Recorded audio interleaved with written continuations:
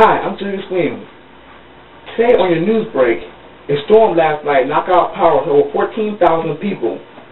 Also, a man arrested yesterday for, for leaving his child inside of his car. Also, DHEC is still warning people to not swim in the river. Also, a man and a woman wanted for murder charge is in South Carolina was caught yesterday in Tennessee.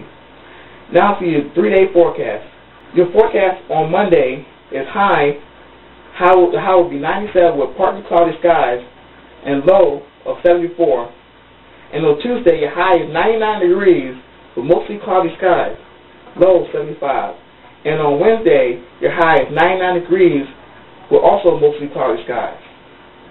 Thanks for watching WJTW Eyewitness News Brief and, and have a good weekend.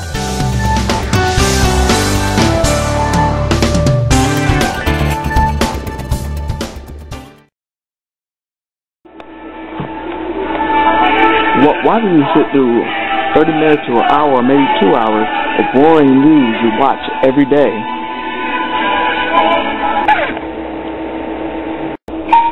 Tune in to WJTW Eyewitness News. It's fun you can count on all the time, every week, online, on YouTube.